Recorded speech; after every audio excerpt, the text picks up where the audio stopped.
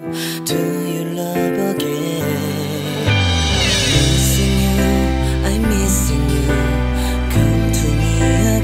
จบยังไงฮะ เมื่อมีการเยียวยานะครับครอบครัวของผู้เสียชีวิต แสดงเจตนารมณ์ชัดเจนนะครับว่าสำนึกผิดนะครับโดยคดีส่วนใหญ่คดีลักษณะเช่นนี้ศาลจะลงโทษแล้วก็ให้ทำการรอลงอาญาแล้วก็ออกทำการใช้คำสั่งเปรียบเทียบปรับ นะครับโดยส่วนใหญ่ก็ไม่จำคุกนะครับถ้าเป็นคดีประมาททำให้ผู้อื่นถึงแก่ความตาย ไม่เคยกระทำความผิดมาก่อนด้วยนะครับที่สำคัญที่เขาทำแบบนี้เพราะอะไรเขาเขาอ่าเคยเป็นนักศึกษาคณะนิติศาสตร์มาก่อนนะจริง ๆ ก็เป็นเรื่องที่เกิดขึ้นตามปกติแหละ แต่ประเด็นคดีเนี้ยเป็นคดีที่เกี่ยวข้องกับดาราที่มีแฟนคลับมากตำรวจก็พยายามเคลียร์คดี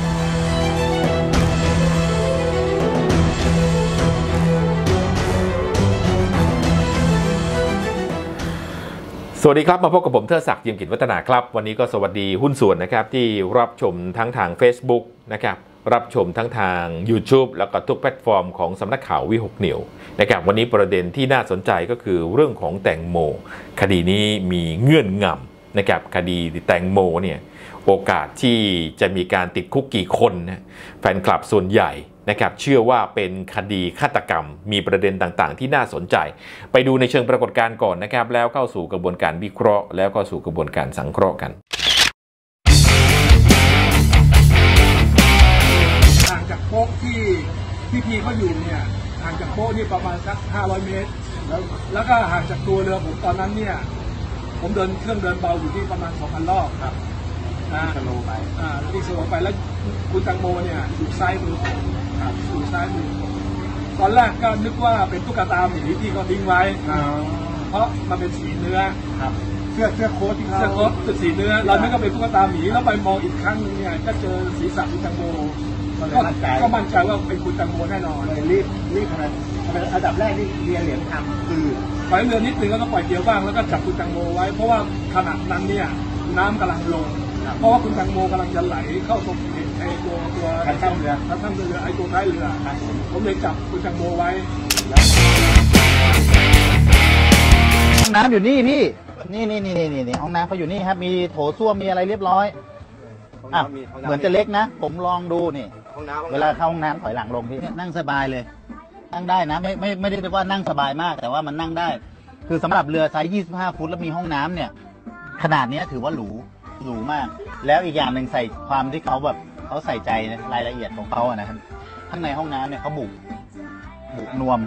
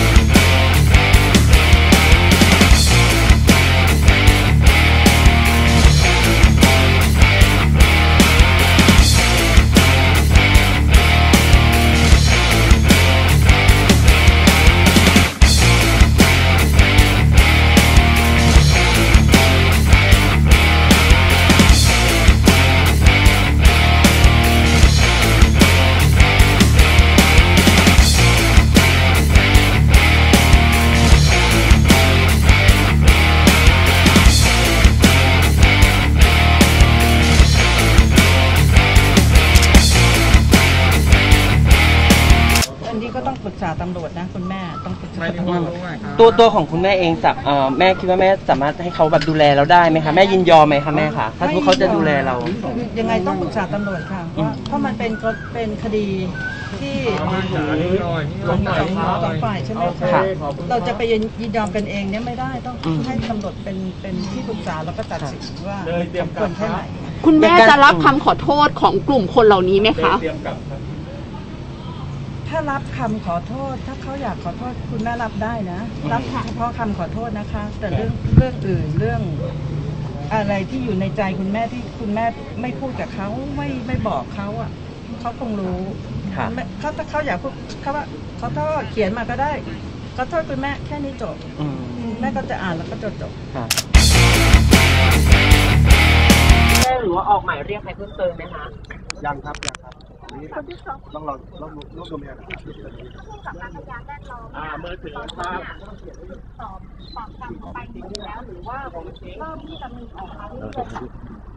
อ่าให้ทุกคนที่เกี่ยวข้องอะไปไปค้นหาพยานถ้าเขาอยากจะเกิดไม่ทันแล้วเดี๋ยวรอให้นิติเวชพิสูจน์ไปก่อนว่า ผลการเสียชีวิตของเขาในร่างกายเขามีอะไรยังไงบ้างนะครับ อันนี้นี่รอรอให้ทางนิติวิทยาศาสตร์เขาออกมาก่อนนะบาดแผลนะฮะบาดแผลเนี่ยพบพบสิ่งผิดปกติอะไรบ้างไหมคะก็ทางพิสูจน์หลักฐานยังไม่ยังเพิ่งถอดไปกำลังกำลังตรวจสอบกันอยู่ครับ แล้วบาดแผลนะฮะในที่ประชุมมีการพูดแล้วว่าบาดแผลมันเกิดจากอ่าสิ่งใดฮะของมีคมประเภทไหนก็นั่นแหละฮะเดี๋ยวกำลังรอให้ทางเอ่อพิสูจน์หลักฐานและก็นิติวิทยาศาสตร์เขารายงานผลการตรวจพิสูจน์กันก่อนนะครับใจเย็นครับนะครับ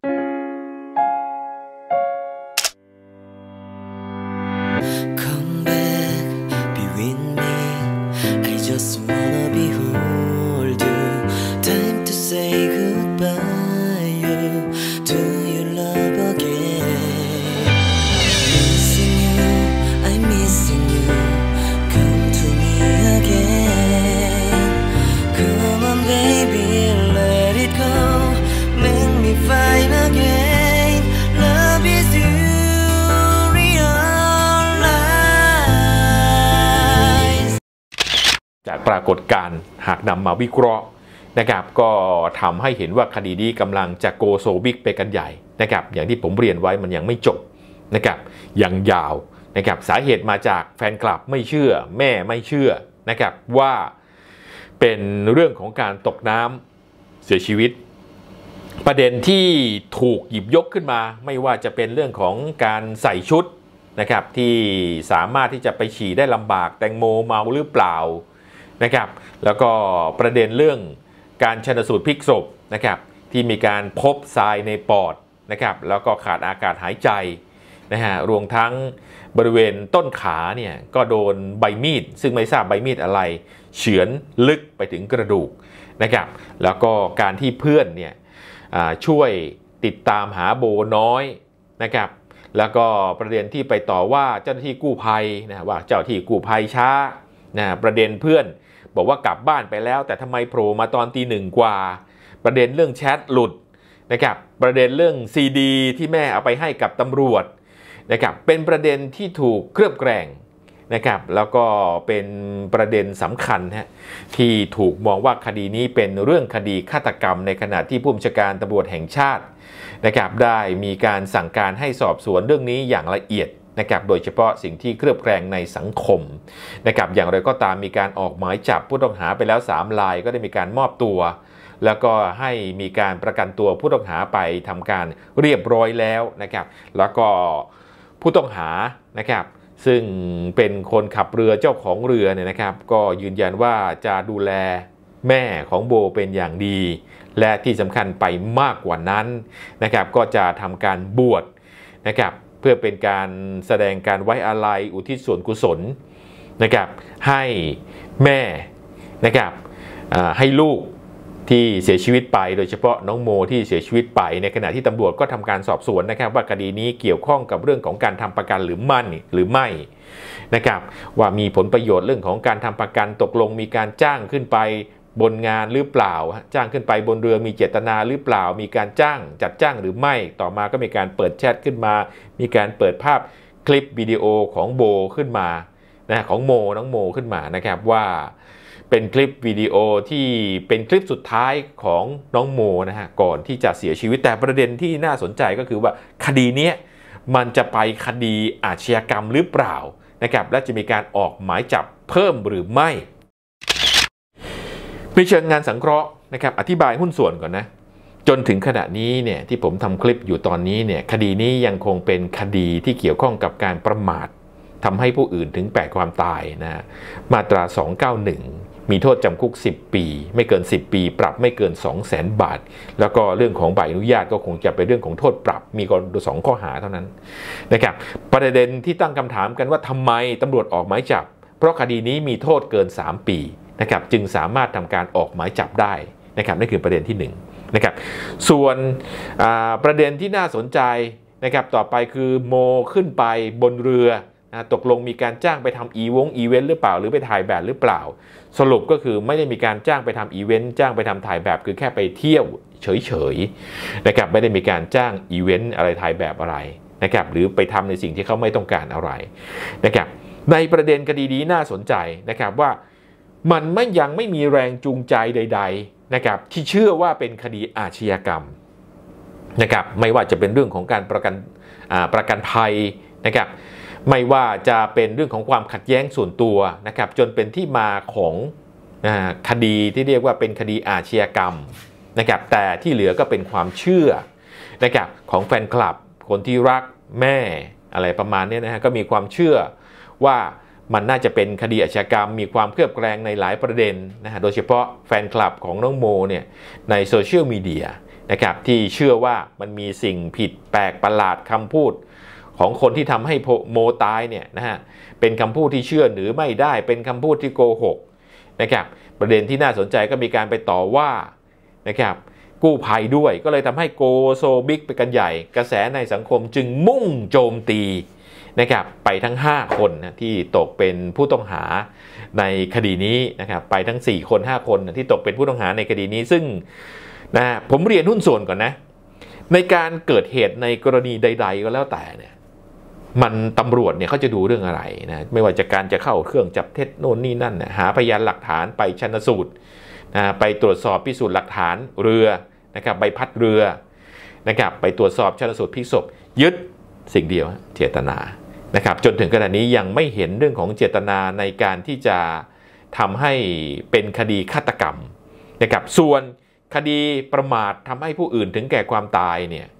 นะครับซึ่งมีโทษจำคุก 10 ปี ไม่เกิน 10 ปี แล้วก็ปรับไม่เกิน 2 0 0 0 0 0 บาทเนี่ยนะครับอย่าลืมนะฮะถ้าเราศึกษาประวัติ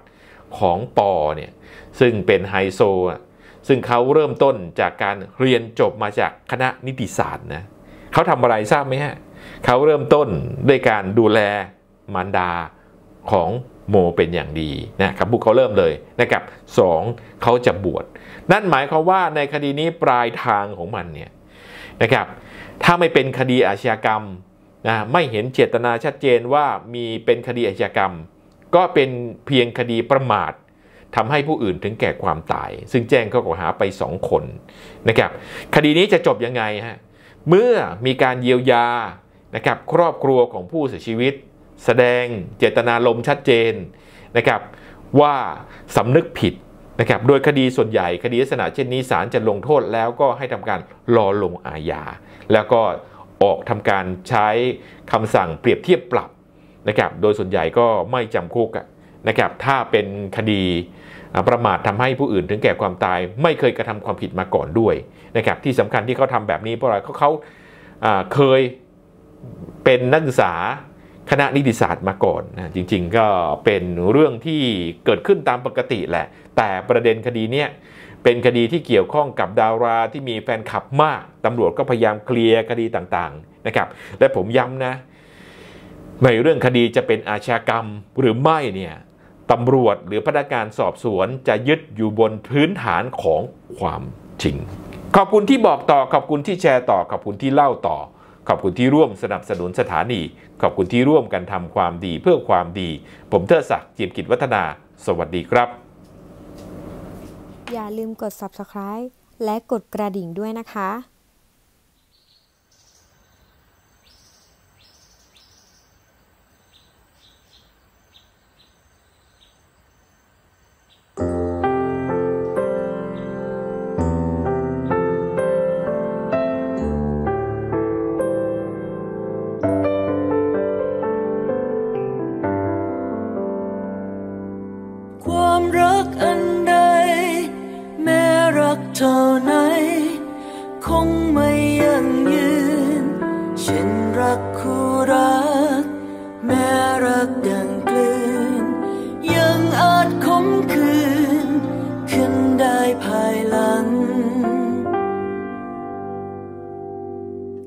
ความรักชา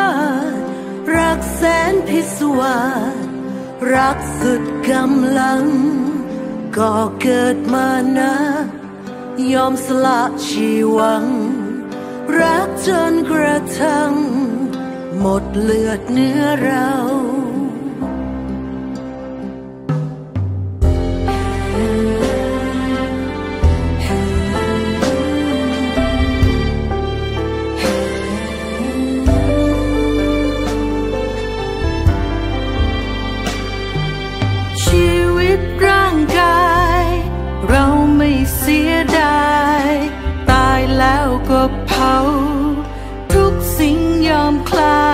ว้นแต่ชาติของเรา ไม่ให้ใครเข้า เหยียบย่ำทำลาย